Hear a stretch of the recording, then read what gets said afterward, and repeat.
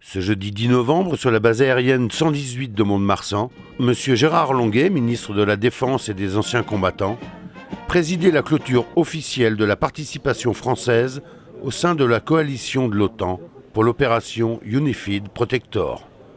En présence de l'amiral Édouard Guillot, chef d'état-major des armées, et des chefs d'état-major des trois armées, le ministre est venu rencontrer les hommes qui ont participé à la mission Armatan, non donnée à l'engagement des moyens français. Rendre hommage euh, à l'ensemble des personnels euh, de l'armée de l'air, mais aussi de, l'aéronaval et, de des forces aéroterrestres euh, qui ont réussi cette très belle performance d'accomplir une mission sans perte personnelle, sans perte de matériel et sans dommages collatéraux. Après un défilé aérien, il a longuement parlé aux équipages de l'aviation légère de l'armée de terre et a évoqué l'importance de l'engagement de la LAT dans la mission.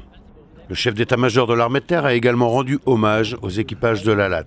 La LAT a eu un rôle complémentaire et décisif dans cette opération.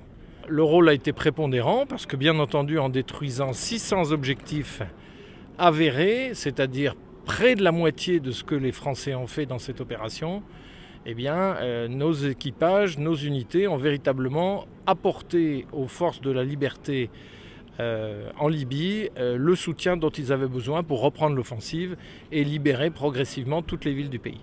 Après une allocution du ministre, c'est au son de la Marseillaise, entonnée par les militaires, que s'est clôturée cette journée.